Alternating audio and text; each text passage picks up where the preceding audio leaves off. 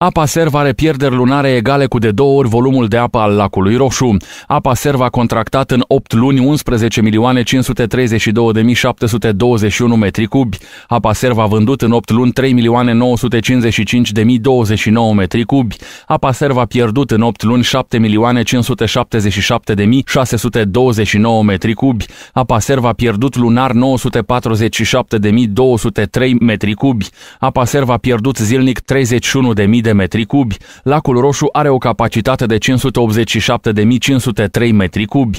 Ținând cont că suntem într-un an secetos, iar lacul Roșu a scăzut puțin, putem concluziona că apa Serv pierde în fiecare lună de două ori mai multă apă decât în cape în lacul Roșu. Oare dacă la fiecare două săptămâni ar năvăli peste județ o pierdere de apă egală cu lacul Roșu, ne-am observat și noi cu ochiul liber sau vorbim și de cantități de apă nefacturate și trecute la pierderi. Oricum ar fi, e bine de cunoscut că în afară de apa pe care o consumăm la robinete lunar, noi consumăm consumatorii nemțeni mai fraieri ca cei din alte județe, plătim și o cantitate de apă de două ori mai mare decât în cape în lacul Roșu.